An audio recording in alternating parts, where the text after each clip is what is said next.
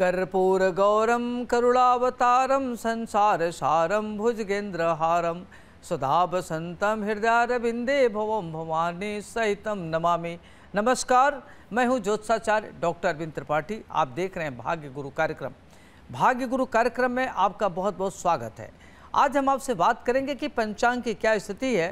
पंचांग आज क्या कहता है? सूर्योदय कब होगा, सूर्यास्त कब होगा, दिशाशूल कब है, राहु काल कब है, शुभ मुहूर्त कब है कौन सा योग है, कौन सा तिथि है, कौन सा नक्षत्र है, कौन सा करण है। चंद्रमा किस राशि पर रहेगा सारी बातें हम आपको विस्तार से बताएँगे। आज का महामंत्र क्या है, इस महामंत्र का जप कैसे करेंगे, जप करने से आपको क्या लाभ मिलेगा, ये भी बताएँगे। बारह राशियों की क्या स्थिति है, आज की बारह राशियों का क्या प्रभाव पड़ेगा, बारह राशियों पर ये भी बताएँगे।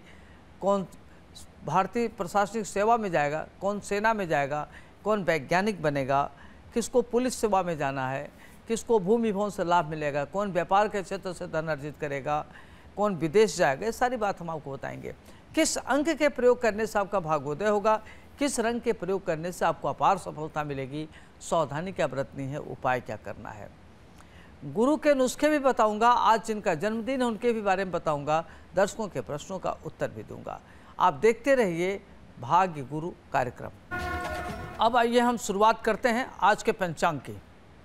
आज का पंचांग है 8 जून 2024 दिन है, शनिवार।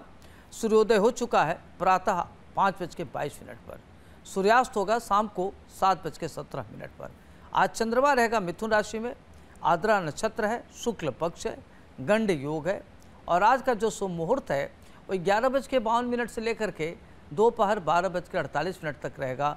राहु काल है सुबह आठ बज के इक्यावन मिनट से लेकर दस बज के पैंतीस मिनट तक रहेगा। पूर्व दिशा का दिशाशूल है। आज आपको एक बात का ध्यान रखना है कि आज चंद्रमा है मिथुन राशि में? जब चंद्रमा मिथुन राशि में हो तो व्यक्ति अपने बल पर महान उन्नत करने वाला होता है और आज का दिन आपके लिए काफ़ी अच्छा है। जिस शेयर ट्रेडिंग या फाइनेंस के मामलों में आपकी परेशानी है, आपकी परेशानी दूर होगी, आज का दिन आपका शुभ होगा और काफ़ी महत्वपूर्ण व्यतीत होगा। राहु काल में कोई भी कार्य नहीं करना है। शुभ मुहूर्त में किया गया कार्य आपके लिए लाभप्रद होगा।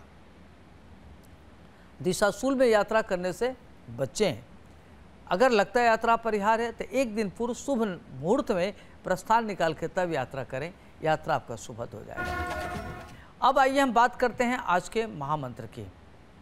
आज का महामंत्र है, ओम संग सनश्चराय नमः। यह जो महामंत्र है, सूर्यपुत्र शनि का है।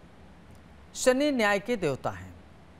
यदि आपकी कुंडली में शनि की साढ़े साथी चल रही है। शनि की महादशा अंतरदशा प्रत्यंतर दशा चल रहा है।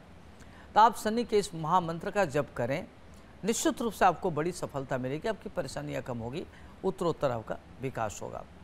तो आप इस महामंत्र का जप नियमित करें अच्छा रहेगा आपके लिए।